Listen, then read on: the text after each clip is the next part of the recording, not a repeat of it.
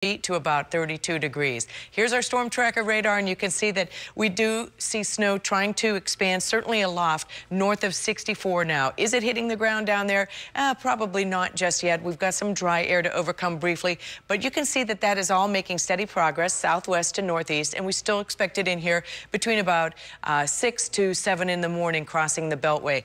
Big storm, as you know, it has had an impact for uh, Nebraska, for Kansas, for Oklahoma, for St. Louis. It's pushing into Cincinnati now, and the leading edge of that has all turned over to snow, and that's what we expect to see in our area as early as 6 o'clock, again, southwest to northeast. 8 a.m. you can see that the blue showing all the snow that's around our area, and this will continue for a few hours.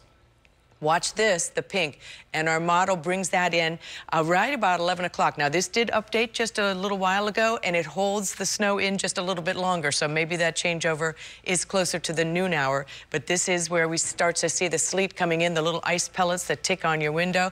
Uh, at 2 o'clock, D.C. looks like it'll be over to rain. We still have a bit of snow in northeastern Maryland, but all of this may be icing, and sleet and freezing rain may begin to accumulate. A quarter inch of ice could be a problem for many areas as we work our way through the uh, early part of the afternoon. Eventually, it's all rain, especially by the time of the evening rush hour, but there will be pockets where there is still lingering freezing rain. There always is, and that's where we worry about accumulation on trees and limbs that could present some power outages and certainly some uh, tricky travel in those areas. Here's our 10 o'clock futurecast. It's mostly rain, and by the time we get to Thursday morning at 7 a.m., it is out of here. If you haven't seen this before, generally we're going for a three to five inch snowfall amount, especially through the metro area area. Could be closer to the three inch amount if the changeover happens sooner, five inch amount if that changeover happens later. We think the heaviest snow, five to eight inches out here where there will always also be a problem with ice in the afternoon. Maybe you get a quarter inch out there, one to three inches south and east for southern Maryland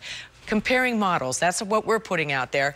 Uh, yesterday, this model was very aggressive with snow. It did come down today, but this is still a pretty significant snow, the American model. And the last thing I'll show you here is the European model. Uh, it's been sticking with uh, a, less impactful snow part of the uh, storm, but uh, still can see the ice in the afternoon. And this is two, two and a half to about six inches around the area. So we feel pretty uh, good that those numbers are going to be what we end up getting, but we know it's going to be a messy day regardless. And Thursday, we start to melt it off, 49 degrees. Friday, we continue the melting. We do have rain on Saturday with a temperature of 44. We could see the rain linger into the first part of Sunday, but I think most of the day Sunday is going to be milder and eventually pretty dry at 64 degrees.